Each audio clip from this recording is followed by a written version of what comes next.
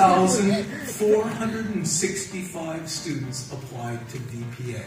3,465 students. There are 477 of you matriculated. Um, Nicki Mayo, graduated in 2001. She is a multimedia journalist specializing in social media strategies and promo videos for Nicki Mayo News.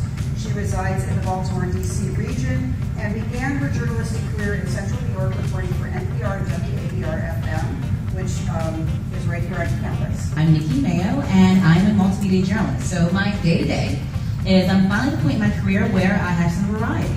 I start the day, my nine to five is I'm a federal contractor for one of those three letter agencies in DC, and I'm a communications specialist.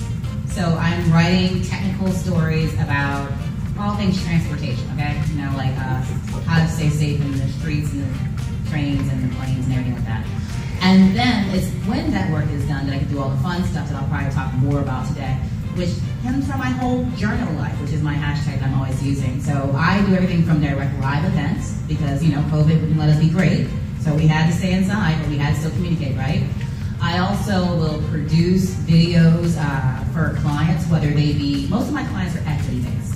They have a, you know, they have a meaning to their, their, uh, excuse me, outreach. But sometimes it's for a hair care product. Who knows? I know how to do all the fun razzle dazzle stuff on the Adobe Creative Suite, so I make I make stuff pop. I also edit people's podcasts if they want. I really don't prefer to do those because not everybody's a good podcaster. and then, um, last but not least, I run social media campaigns, which I have loved working in that particular space because having an active voice online that is great with the messaging of whatever the client wants or whatever their advocacy issue is, is such a good skill and talent that you all should consider honing and going into. It's a way to bring together your love for those TikTok videos and make some money off of it while also benefiting the good of everyone else. Everyone can see everything that's in the black here on whichever screen you're looking at, okay?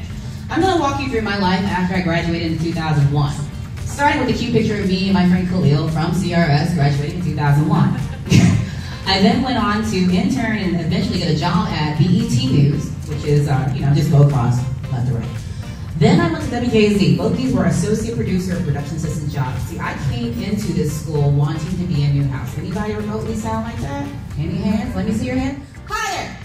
Higher! Okay, say with your chest. Okay. So, the reason I wanted to point this out is because you too can have a career in whether it be television, radio, film, whether it be marketing and production. You too can do this. I'm gonna walk you through how I did it.